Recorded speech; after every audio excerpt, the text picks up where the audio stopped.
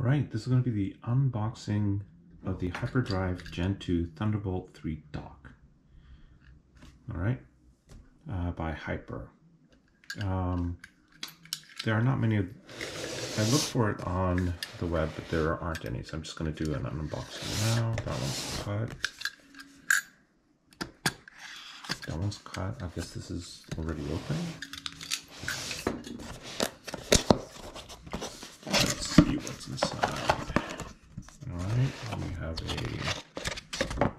Start guide.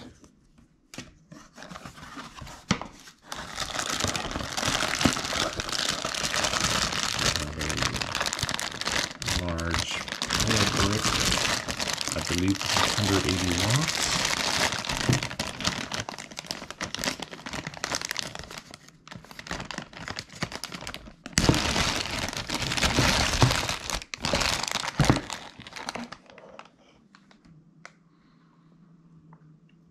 Twenty-one volts, eight point five seven amps, hundred eighty watts. So it's a hundred eighty watt power brick.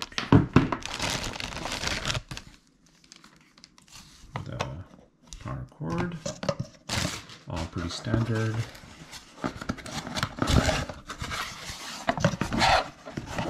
And here. we have the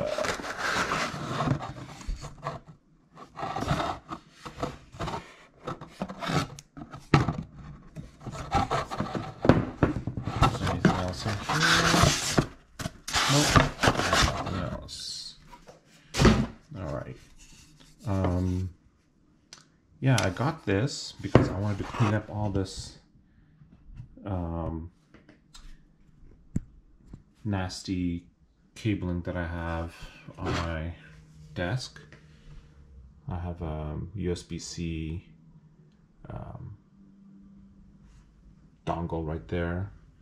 Lots of cables going into my monitor, um, second monitor. So yeah, so it's nice and small. Um, it's my Apple Pencil. Okay, so that's my DC in, coax, uh, Thunderbolt 3, which can um, daisy chain. That's another thum Thunderbolt 3, Toslink, optical Toslink, gigabit Ethernet, um, three USB to, uh, sorry, three 5 gigabits, uh, a display port, so one. So I'm going to have to drive my second monitor if I wanted to out of that Thunderbolt um,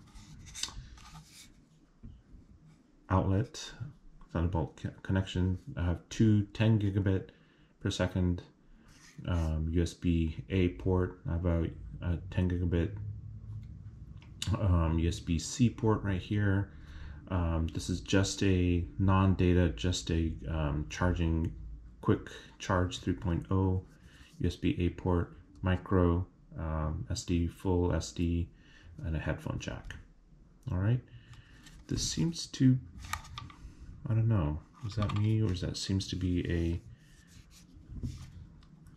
fit issue? There's a buckle in the case, play in the case. Not impressed. Not impressed at all. Yep, there seems to be a definite play in the case right there. Hmm. Not impressed. Right there.